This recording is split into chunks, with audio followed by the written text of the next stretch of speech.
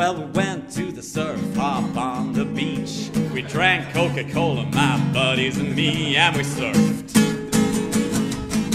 And so I saw this girl across the golden sand. I walked up to her and I held her hand and she danced. She was so fine in the California summertime. I talked to her, yeah, I talked to her about the sand Said she'd never surf, but she'd like to try, oh my. And so I gave her a wetsuit that my sister had worn, and we walked to the sea, and I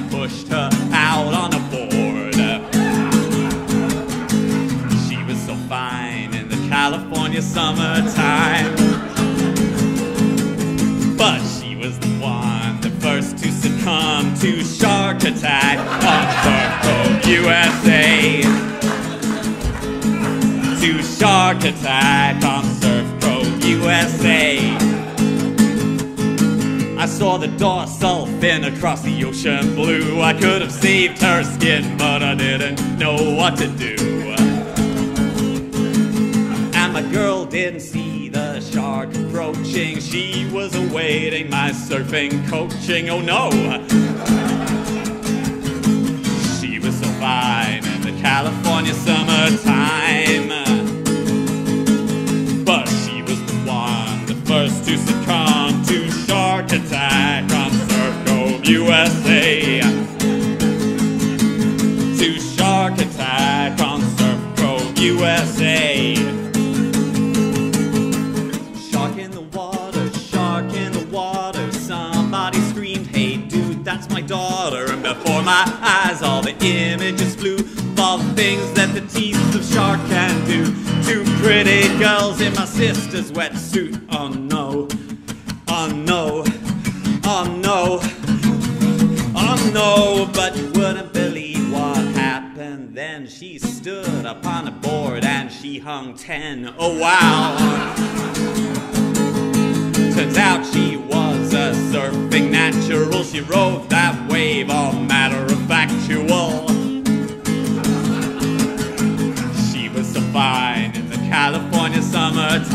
summertime. Ironically, the very next week she was surfing on the sea like a pro would do. And someone shouted shark, but she knew what to do. She stood right up upon the wax surfboard, and the next thing I knew, she was in its jaws. The surf was red from my baby's blood. Somebody said she shouldn't have ought to been so smug. And as the shark tried to run her, I thought, oh put a crimp on the rest of summer. She was so fine in California summertime. But she was the one first to succumb to shark attack on Surf Cove, USA. To shark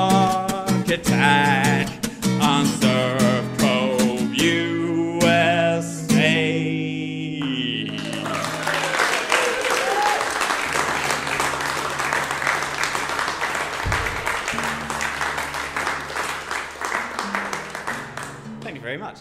I've got one more song, and then I'm going to go off and pretend that I'm not going to come back, but I am. it's called an encore. I'm not quite sure of the logic of it, but apparently it kind of means that, uh, means that people think you're going to go. And then, then they cheer, and they go, yeah, come back. And then you do. Who knew? I mean, you know, you don't have to cheer and uh, come back, because I'm going to. In fact, it would be an active waste of your time if you were to cheer, because I'm going to anyway. It would be needlessly. Actually, maybe now I'm not going to come back. Wouldn't that be funny? If I said, yeah, I'm definitely coming back, didn't come back, I am coming back.